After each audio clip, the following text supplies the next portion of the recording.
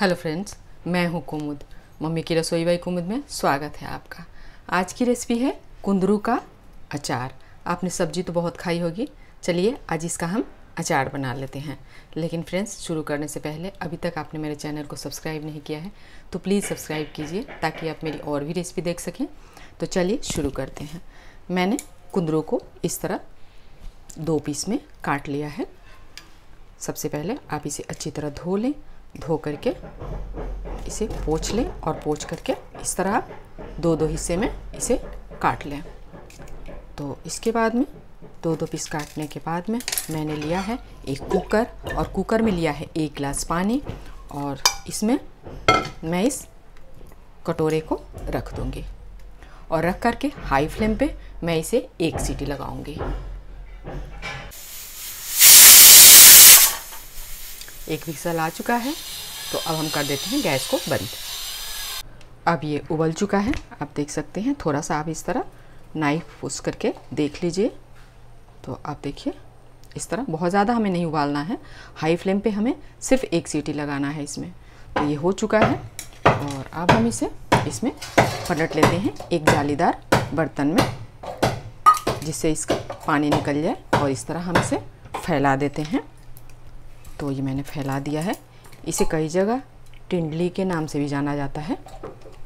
तो अब हम इसका पानी थोड़ा सा सूख जाने देते हैं और इसे ठंडा हो जाने देते हैं।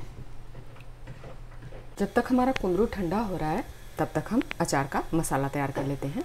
तो मसाले के लिए मैंने एक तवा चढ़ा लिया है और इसमें मैं डालूँगी एक चम्मच ज़ीरा, एक चम्मच मेथी और एक चम्मच सौंफ। इन्हें मैं थोड़ा सा रोस्ट कर लेती हूँ। हल्का सा हमें ज़्यादा नहीं भूनना है। जब थोड़ी सी खुशबू आने लगे, बस इतना ही हमें इसे भूनना है। तो हमारा मसाला भी भून चुका है, आप देख सकते हैं। अब हम इसे ठंडा करके और ग्राइंडर में ग्राइंड कर लेते हैं। हमारा कुंदरू ठंडा हो चुका है और मसाला भी मैंने पीस लिया है। ये मैंने लिया है पीले वाले सरसों, चार चम्मच सरसों लिया है, जिसे मैंने इस तरह पीस लिया है। तो अब चलते हैं अचार बनाने के प्रोसेस में। तो सबसे पहले मैं इसमें डालूँगी हल्दी, हाफ़ चम्मच हल्दी। वो आप अपने कुंदरू के हिसाब से लीजिएगा। और फिर मैं इसमें डालूँगी एक चम्मच मिर्च पाउडर, जितना आप तीखा रखना चाहते हैं, उतना डालिए। और फिर मैं डालूँगी इसमें एक चम्मच आमचूर पाउडर और जो हमने अपने मसाले को भूना है और पीसा है, वो वाला मसाला मैं सारा डाल देती हूँ। और अब मैं डालूँगी इसमें जो हमने सरसों को पीस कर रखा है। तो इसे डाल लेती हूँ और फिर मैं डाल लेती हूँ इसमें थोड़ा सा हींग। और अब मैं डालूँगी इसमें नमक। नमक हो गया है और फिर इसे मिक्स करने के लिए हमें तेल की ज़रूरत है। तो तेल हमें इतना ही डालना है जितना कि इसमें मसाला मिक्स हो जाए। इस अचार को फ्रेंड्स आप फ्रिज में रख करके चार से पाँच दिन तक यूज़ कर सकते हैं।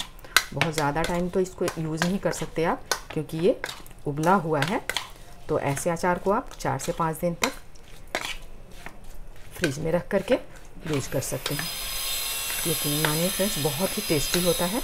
आप एक बार इसे बना करके देखिएगा और फिर मुझे कमेंट करके बताइएगा कि आपको अचार की रेसिपी कैसी लगी है। तो ये तेल भी हमारा हो गया है। मुझे थोड़ा सा मसाला कम लग रहा है तो मैं इसमें थोड़ा सा राई, सरसों का पाउडर और डाल देती हूँ। तो अब ये हो गया है। इसमें धूप वगैरह लगाने की आपको कोई ज़रूरत नहीं है। आप इसे ढक करके और रख दीजिए। फ्रिज में ही रखिए, बाहर नहीं, ताकि ये ख़राब ना हो और आप इसे बना करके एक घंटे के अंदर अंदर यूज़ कर सकते हैं। तो कैसी लगी फ्रेंड्स मेरी ये कुंदरू के अचार की रेसिपी? पसंद आए तो लाइक, शेयर और चैनल को सब्सक्राइब किए बिना मत जाइएगा फ्रेंड्स। धन्यवाद।